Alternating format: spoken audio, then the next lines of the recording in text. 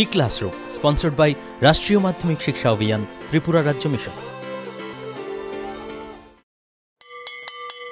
মাধ্যমিক স্তরের শিক্ষার গুণগত মানকে সুনিশ্চিত করার লক্ষ্যে রাষ্ট্রীয় মাধ্যমিক শিক্ষা অভিযান, ত্রিপুরা রাজ্য মিশন, কর্মরত মাধ্যমিক স্তরের শিক্ষক ও বিদ্যালয় প্রধানদের প্রশিক্ষণ, বিজ্ঞান শিক্ষণ সামগ্রী প্রদান, ছাত্রীদের আত্মরক্ষামূলক প্রশিক্ষণ মেধায় পিছিয়ে পড়া ছাত্রছাত্রীদের বিশেষ শিক্ষাদান, প্রতিবন্ধীদের জন্য অনুদান, রাজ্যে কলা উৎসব আয়োজন সহ অন্যান্য কর্মসূচি রূপায়ণ করছে। জানেন কি, বিদ্যালয় ছুট সারা দেশের একটি জ্বলন্ত সমস্যা। এই সমস্যা সমাধানে রাষ্ট্রীয় মাধ্যমিক শিক্ষা অভিযানের উদ্যোগে আগামী পয়লা জানুয়ারি থেকে সপ্তাহব্যাপী বিদ্যালয় ফিরে চলো কর্মসূচি গ্রহণ করা হয়েছে। চোদ্দ থেকে ষোলো বছর বয়সী সমস্ত ছেলে মেয়েদের মাধ্যমিক শিক্ষা সম্পূর্ণ করার জন্য আপনারা সবাই এগিয়ে আসুন। মাঝপথে যারা লেখাপড়া ছেড়ে দিয়েছ বন্ধুরা, তোমরা বিদ্যালয়ে আবার ফিরে এসো। রাষ্ট্রীয় মাধ্যমিক শিক্ষা অভিযান।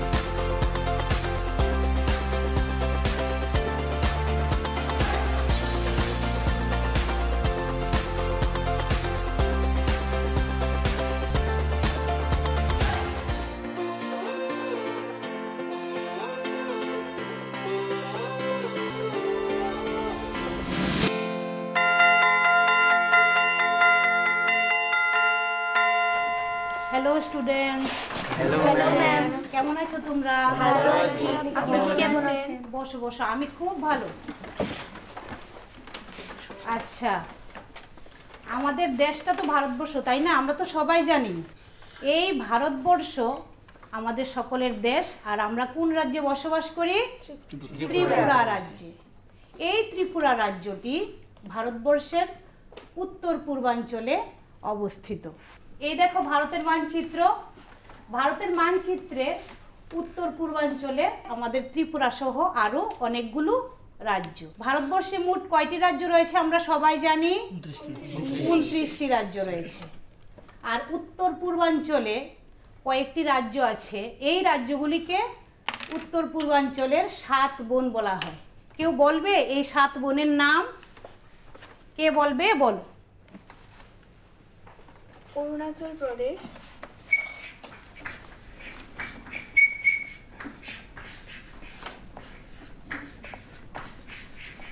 তারপর বলো।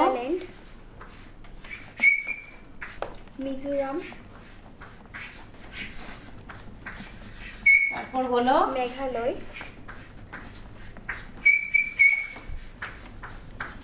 ত্রিপুরা। মণিপুর এবং অসম।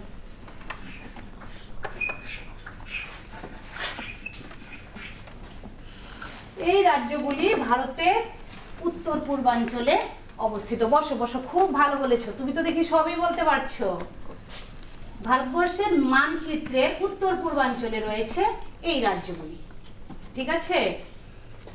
দেখো, এই হলো ভারতবর্ষের উত্তর পূর্বাঞ্চলের রাজ্যগুলি। সঙ্গে ওই রাজ্যগুলির রাজধানী রয়েছে। দেখতে পাচ্ছ সবাই? এই রাজ্যগুলি কিন্তু একসময় ভারতবর্ষের মানচিত্রের সঙ্গে যুক্ত ছিল না। বিভিন্ন সময় বিভিন্ন ধাপে ওই রাজ্যগুলি ভারতবর্ষের মানচিত্রে তাদের স্থানটা করে নিয়েছিল। তাহলে আজকে আমরা জানব ভারতের এই উত্তর পূর্বাঞ্চলের রাজ্যগুলি কীভাবে উদ্ভব হয়েছিল। ঠিক আছে? তাহলে আমরা প্রথমেই যাব অরুণাচল প্রদেশ। দেখেছ সবাই অরুণাচল প্রদেশের মানচিত্র? এখন অরুণাচল প্রদেশের সম্পর্কে কিছু গুরুত্বপূর্ণ তথ্য আমরা জেনে নেব। প্রথমে দেখো, এই রাজ্যটির আয়তন কত আছে এখানে? তিরাশি হাজার সাতশো তেতাল্লিশ বর্গ কিলোমিটার। আর এই রাজ্যের রাজধানী হলো ইটানগর, আমরা সবাই জানি।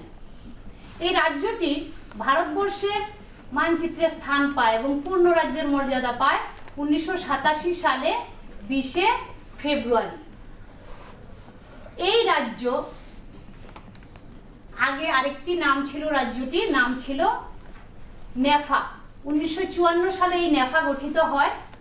আর এই নেফার নাম পরিবর্তিত হয়ে অরুণাচল প্রদেশ নামকরণ হয় উনিশশো একাত্তর সালে। উনিশশো আটাত্তর সালে এই রাজ্যে সাধারণ নির্বাচন অনুষ্ঠিত হয়। উত্তর পূর্বাঞ্চলের এই রাজ্যগুলো বিভিন্ন সময় ইংরেজরা বিভিন্নভাবে দখল করেছিল। ইয়ান্দাবুর সন্ধির মাধ্যমে আঠারোশো ছাব্বিশ খ্রিস্টাব্দে ব্রিটিশরা আসাম দখল করেছিল। আর তখন ব্রিটিশদের নজর ছিল এই অরুণাচল প্রদেশের উপর। অরুণাচল প্রদেশটিও তারা আঠারোশো আটত্রিশ খ্রিস্টাব্দে দখল করে নেয়। তোমরা একটা কথা মনে রাখবে, ভারতবর্ষে ইংরেজরা অনেকদিন শাসন করেছিল, কিন্তু তারা ভারতের এই উত্তর পূর্বাঞ্চলের রাজ্যগুলির উপর সরাসরি তাদের শাসন ব্যবস্থা পরিচালনা করেনি। বিভিন্ন মিশনারি সংস্থার মাধ্যমে ওই অঞ্চলে শাসন কার্যগুলি পরিচালনা করা হতো। সেই কারণে এই অঞ্চলগুলিতে শিক্ষা, সামাজিক এবং অর্থনৈতিক কোনো উন্নতি ঘটেনি। সমতলের সঙ্গে এদের তেমন যোগাযোগ হয়নি। উনিশশো চুয়ান্ন সালে নেফা পুনর্গঠিত হয় আসামের দারাং এবং লখিমপুর নামক দুটি জেলা নিয়ে। ভারত যখন স্বাধীন হয় তখন নেফার শাসন কার্য পরিচালনা নিয়ে চিন্তা ভাবনা শুরু হয় এবং এই এর শাসন কার্য পরিচালনার দায়িত্ব দেওয়া হয় আসামের রাজ্যপালের উপর।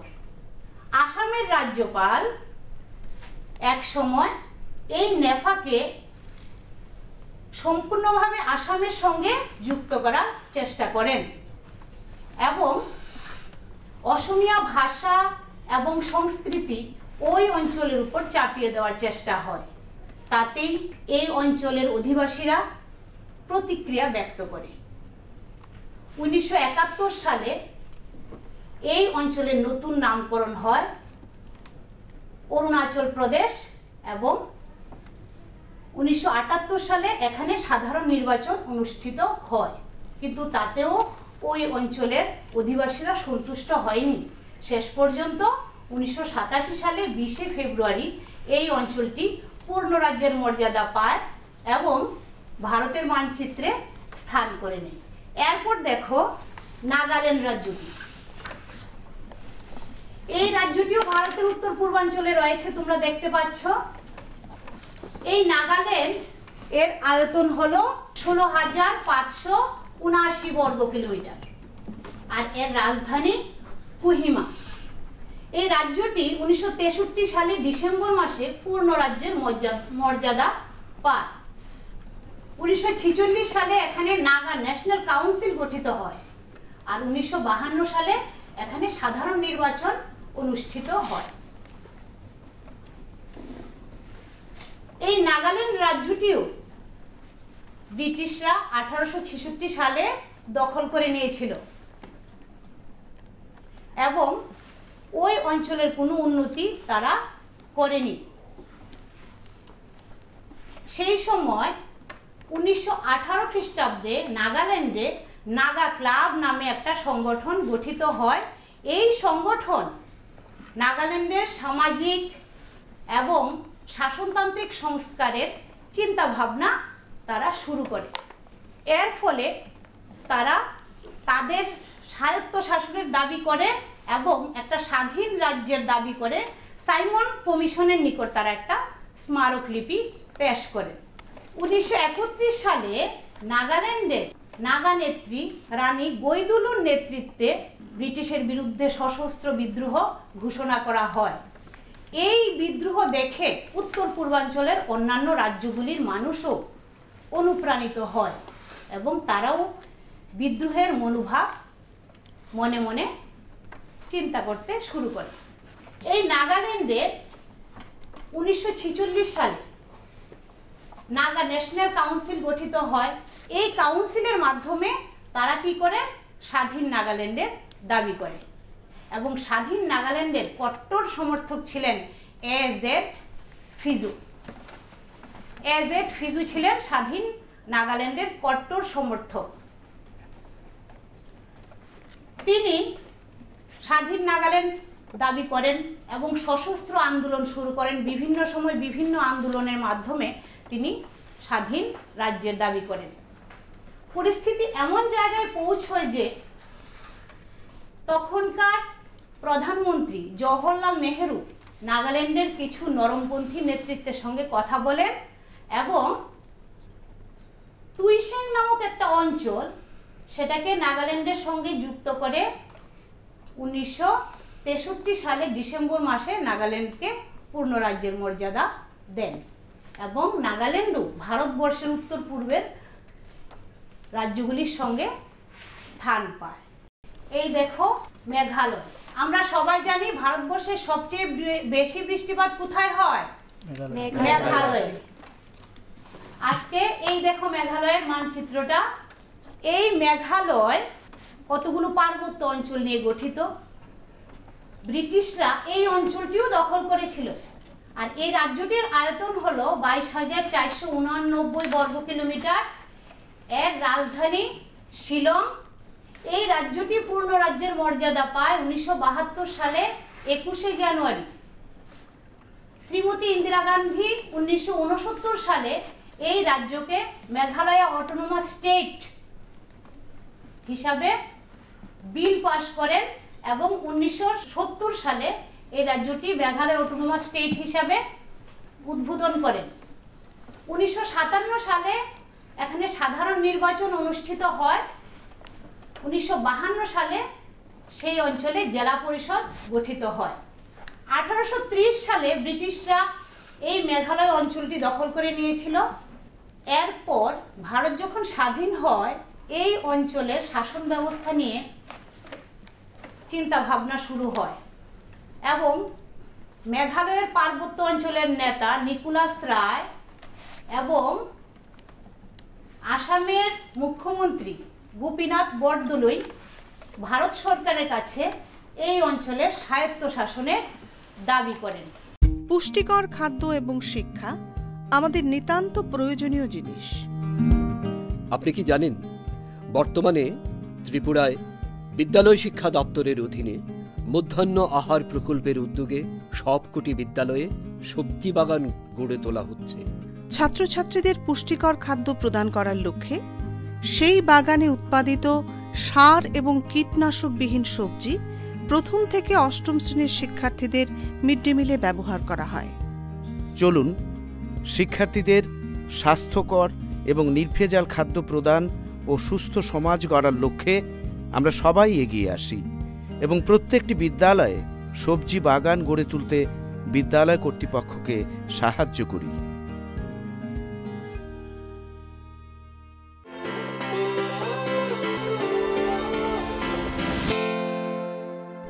শেষ পর্যন্ত পরিস্থিতি এমন জায়গায় পৌঁছয় যে উনিশশো সালে সেখানে জেলা পরিষদ গঠন করা হয়, তাতেও কিন্তু মেঘালয়বাসী আশা আকাঙ্ক্ষা পূরণ হয়নি।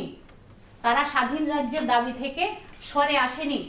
শেষ পর্যন্ত শ্রীমতী ইন্দিরা গান্ধী উনিশশো উনসত্তর সালে Meghalaya autonomous state bill pass করেন এবং উনিশশো সত্তর সালে দোসরা এপ্রিল মেঘালয় অটোনোমাস স্টেট উদ্বোধন করেন। তাতেও তারা সন্তুষ্ট হয়নি। শেষে উনিশশো বাহাত্তর সালে একুশে জানুয়ারি এই অঞ্চলটিকে পূর্ণ রাজ্য হিসাবে মর্যাদা দেওয়া হয় এবং এই অঞ্চলটি ভারতের মানচিত্রে স্থান পায়। এবার বলো তো রশ্মি বলো ভারতবর্ষের কোন অঞ্চলে সবচেয়ে বেশি বৃষ্টিপাত হয়? মেঘালয় অঞ্চলে। খুব ভালো বলেছ বসো। অমর বলো তো মেঘালয় অটোনোমাস স্টেট বিল কে পাশ করেন? খুব ভালো বসো। এরপর দেখো এই রাজ্যটি হলো মিজোরাম। এটিও উত্তর পূর্ব ভারতের আরেকটি রাজ্য ব্রিটিশরা এই অঞ্চলের নাম দিয়েছিল লুসাই হিলস। এখানে আগে কুকিরা বসবাস করত। এর পূর্ব নাম ছিল কুকি রাজ্য। লুসাইরা এই অঞ্চলে বসবাস করে উনিশশো চল্লিশ সাল থেকে। এবং তখন তারা কি করে? কুকিদের এই অঞ্চল থেকে বিতাড়িত করে দেয়। তখন থেকে ইংরেজরা এই অঞ্চলটির নাম দেয় লুসাই হিলস। এই অঞ্চলটি ইংরেজরা দখল করে নিয়েছিল আঠারোশো আটানব্বই খ্রিস্টাব্দে। কখন দখল করে নিয়েছিল? আঠারোশো আটানব্বই খ্রিস্টাব্দে। এই অঞ্চলের আয়তন দেখো, বিশ হাজার নয়শো সাতচল্লিশ বর্গ কিলোমিটার এর রাজধানী আইজল এই রাজ্যটি পূর্ণ রাজ্যের মর্যাদা পায় উনিশশো সাতাশি সালে দোসরা February. Mizo National Famine Front গঠিত হয় উনিশশো উনষাট সালে। এই রাজ্যটির পূর্ব নাম ছিল কুকি রাজ্য। উনিশশো সালে এখানে জেলা পরিষদ গঠিত হয়। উনিশশো ছিয়াশি সালে মিজো ন্যাশনাল ফ্রন্টের নেতা লাল ডেঙ্গার সঙ্গে ভারত সরকার এবং মিজোরাম সরকারের সমঝোতা চুক্তি স্বাক্ষরিত হয়। আমরা কি জানলাম? মিজোরামের রাজধানীর নাম কি? আইজল। এটি পূর্ণ রাজ্যের মর্যাদা পায় উনিশশো সাতাশি সালে দোসরা ফেব্রুয়ারি আর মিজো ন্যাশনাল ফ্রন্ট গঠিত হয় উনিশশো উনষাট সালে। এই রাজ্যটি যখন ইংরেজরা দখল করে নেয় তখন সেখানকার সামাজিক অর্থনৈতিক কোনো উন্নয়ন ঘটেনি। তখন ইংরেজদের ভারত ত্যাগ করার কিছুদিন পূর্বে মিজোরামে মিজু ইউনিয়ন নামে একটা সংগঠন স্থাপিত হয়। মিজু ইউনিয়ন, সংগঠনটার নাম কি? মিজু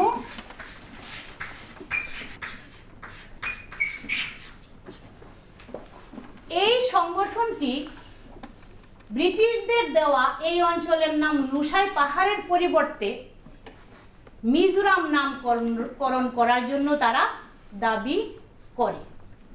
এই মিজোরাম তখন থেকেই নামকরণ হয় এবং মিজো ইউনিয়নের মাধ্যমে মিজোরামের কিছু বিচ্ছিন্নতাবাদী মিজোরামকে স্বাধীন রাজ্য হিসাবে তারা ঘোষণা করার জন্য দাবি করেন এবং স্বায়ত্ত শাসনের দাবি করেন। তখন মিজোরামের উনিশশো উনসত্তর সালে একটা দুর্ভিক্ষ দেখা দেয়। এই দুর্ভিক্ষের সময় পীড়িত মানুষদের সহায়তা করার জন্য একটা সংগঠন স্থাপিত হয়। এই সংগঠনটির নাম হলো মিজু ন্যাশনাল ফেমিন ফ্রন্ট। এই সংগঠনের মাধ্যমে পীড়িত মানুষদের সহায়তা করা হয় এবং এই সংগঠনের নেতৃত্ব দেন লাল ডেঙ্গা নামে একজন ব্যক্তি। কে নেতৃত্ব দেন? লাল ডেঙ্গা। তিনি তার কার্যকলাপ এবং এই সংগঠনের মাধ্যমে মিজোরামবাসীদের আন্তরিকতা পান এবং তাদের সাহায্য সহায়তা পেয়ে তিনি পৃথক রাজ্যে দাবি করেন এবং মিজো ন্যাশনাল ফেমিন ফ্রন্টের পরিবর্তে এর নামকরণ হয় মিজো ন্যাশনাল ফ্রন্ট। এই রাজ্যটি তখন স্বাধীন হয়নি। তিনি কি করেন? স্বায়ত্ত শাসনের দাবি করেন। পরিস্থিতি এরকম জায়গায় পৌঁছয় যে উনিশশো সালে সেখানে জেলা পরিষদ গঠিত হয়, কিন্তু তিনি স্বাধীন রাজ্যের দাবি থেকে সরে আসেননি। এক সময় তিনি বুঝতে পারেন যে স্বাধীন মিজোরাম একটা অলিক কল্পনা মাত্র। এটা কখনোই সম্ভব না। তখন তিনি উনিশশো ছিয়াশি সালে ভারত সরকার এবং মিজোরাম সরকারের সঙ্গে কথা বলেন, একটা সমঝোতা চুক্তি স্বাক্ষরিত হয়। তখন তিনি মিজোরামের মুখ্যমন্ত্রী পদে আসীন হন। শেষে উনিশশো সাতাশি সালে দোসরা ফেব্রুয়ারি এই রাজ্যটি পূর্ণ রাজ্যের মর্যাদা পায়। তাহলে আমরা কি দেখছি? মিজোরামের রাজধানীর নাম আইজল। মিজো ন্যাশনাল ফ্রন্ট গঠিত হয় উনিশশো সালে।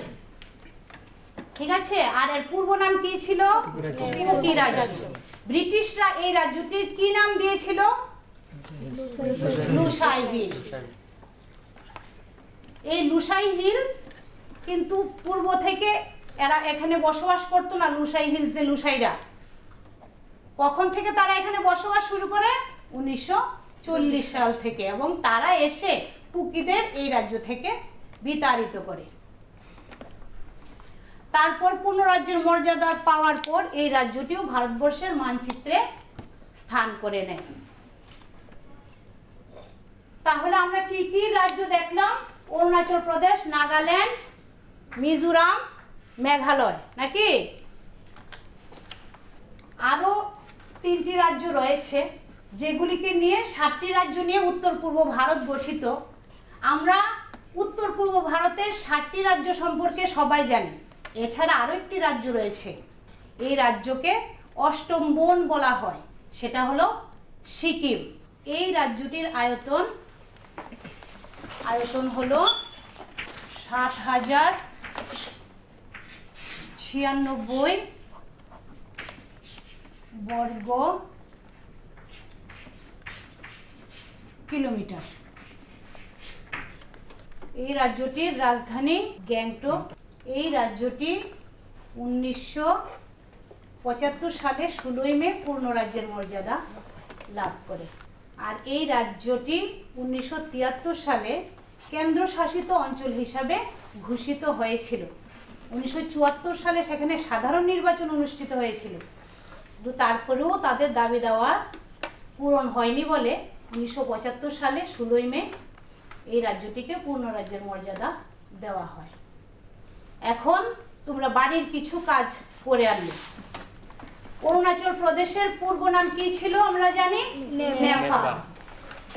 নেপাল।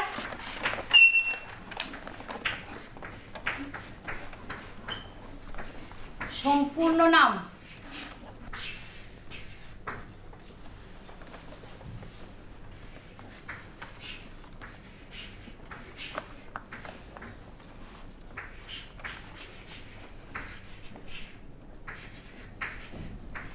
নেফার সম্পূর্ণ নাম কি? নেফার পুনর্গঠন কবে হয়? নাগা ন্যাশনাল কাউন্সিল কবে গঠিত হয়? উনিশশো সালে। স্বাধীন নাগাল্যান্ডের কট্টর সমর্থক কে ছিলেন? আর মিজু ইউনিয়ন গঠিত হয়, এই ইউনিয়নে কি দাবি ছিল?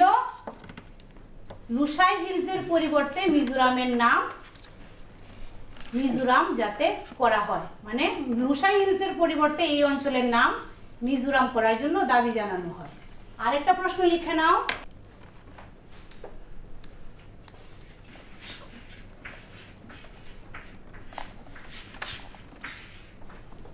মিজো ন্যাশনাল ফ্রন্টের গঠন কে করেন? তাহলে আজকে আমরা কি জানলাম? ভারতবর্ষের উত্তর পূর্বাঞ্চলের চার পাঁচটা রাজ্য সম্পর্কে আমরা জানলাম কীভাবে এই রাজ্যগুলি পূর্ণ রাজ্যের মর্যাদা পায়। তাহলে আজকের ক্লাস এখানেই শেষ। ভালো থেকো। Thank you ma'am thank you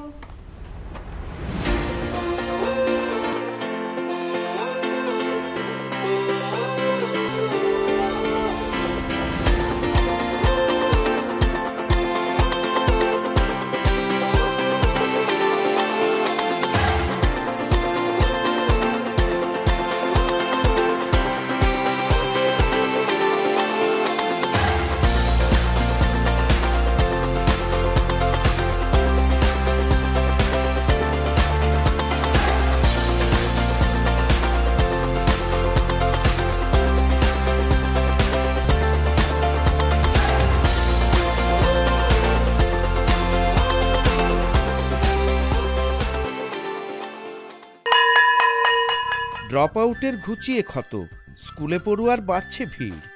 Sarva Shiksha mid day মিলে স্কুল সকলের আশার নীড়। রাজ্যের ছয় থেকে চোদ্দ বছরের সব শিশুদের বিদ্যালয়ের আঙিনায় এনে তাদের বুনিয়াদী শিক্ষা সুনিশ্চিত করতে সর্বশিক্ষা অভিযান বদ্ধপরিকর। তাদের শিক্ষার সুবিধার জন্য রয়েছে বিনামূল্যে পাঠ্য বই, বিদ্যালয়ের পোশাক, উন্নতমানের পড়াশোনা, স্বাস্থ্যসম্মত শৌচাগার, বিশুদ্ধ পানীয় জল পুষ্টিকর মধ্যাহ্ন আহার খেলাধুলার ব্যবস্থা এবং আরও অনেক কিছু। হ্যাঁ তাই দেরি না করে আজই আপনার এলাকার সব শিশুদের নিকটবর্তী সরকারি বিদ্যালয়ে ভর্তি হতে উৎসাহিত করুন। E classroom was sponsored by Rashtriya Madhyamik Shiksha অভিযান ত্রিপুরা রাজ্য মিশন।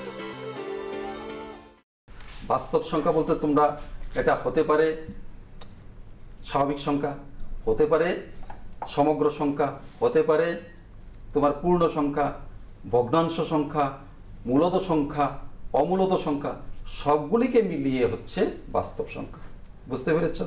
তাইলে A zero A one A two A three A N এগুলি হচ্ছে ধ্রুবক। কিন্তু ধ্রুবক হলো, সেগুলো হচ্ছে বাস্তব সংখ্যা। আর এক্সটা হচ্ছে চলরাশি। আর এনটা হচ্ছে এনটা কীরকম? এনটা হচ্ছে ধনাত্মক পূর্ণ সংখ্যা অথবা এর মান জিরোও হতে পারে।